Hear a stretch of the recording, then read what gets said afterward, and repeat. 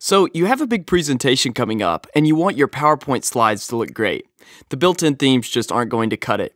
The good news is that it's quick and easy to add custom themes to PowerPoint for a unique look. I'm using the Simplicity theme purchased from GraphicRiver. After I downloaded the template, I've got a zip file. When I extract it, I want to find the .thmx or themex files. At this point, I want you to make a folder where you're going to store all of your PowerPoint themes, which you can put basically anywhere.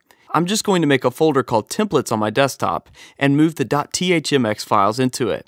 Now, I'll click on the Explorer window at the top and copy the path to the folder where my templates are. Let's jump back over to PowerPoint. Go to the File Options menu and in the Save panel, find the box that says Default Personal Templates Location. This is the folder where PowerPoint will look for your templates.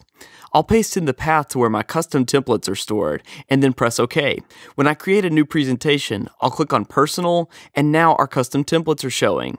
Click on one of the new themes to get started and it creates a new presentation. If I go to the Home tab and then choose Layout, you can see that our custom themes are now ready to be used. I'm Andrew Childers for Envato Tuts Plus, and thanks for joining me.